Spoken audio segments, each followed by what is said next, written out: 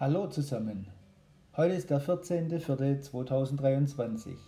Ich stehe hier in der Nähe von Tübingen in Mössingen an einem wunderschönen Tag. Ihr seht hier einen Pilot Evidence G741. Was alles in eine Heckgarage passt, zeige ich euch jetzt.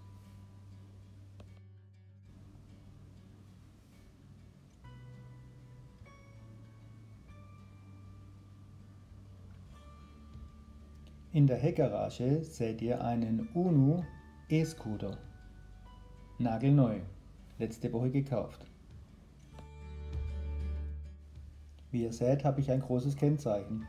Das heißt, ich habe das Fahrzeug freiwillig zugelassen.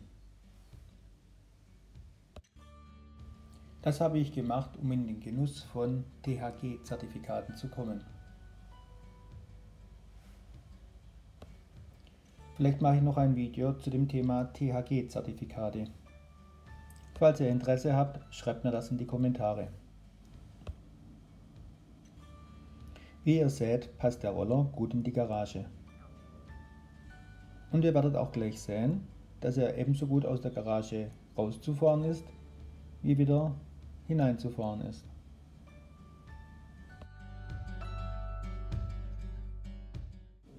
Mit dieser Aluminiumrampe ist es kein Problem, den Roller aus der Garage zu holen.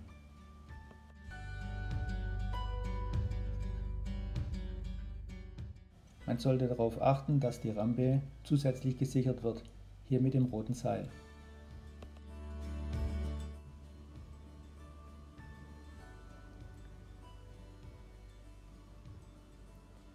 Auch ohne Hilfe lässt sich der Roller relativ einfach aus der Garage fahren.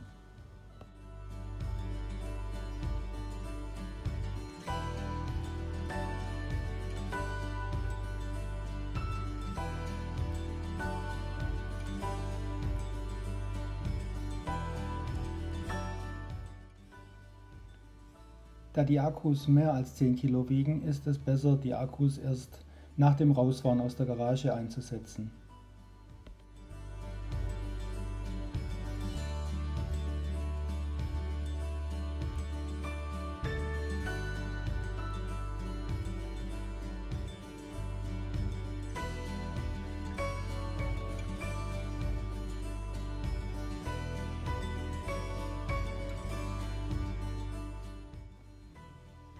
Auch bei eingesetztem Akku hat man noch genügend Platz für einen Einkauf oder ein oder zwei Helme.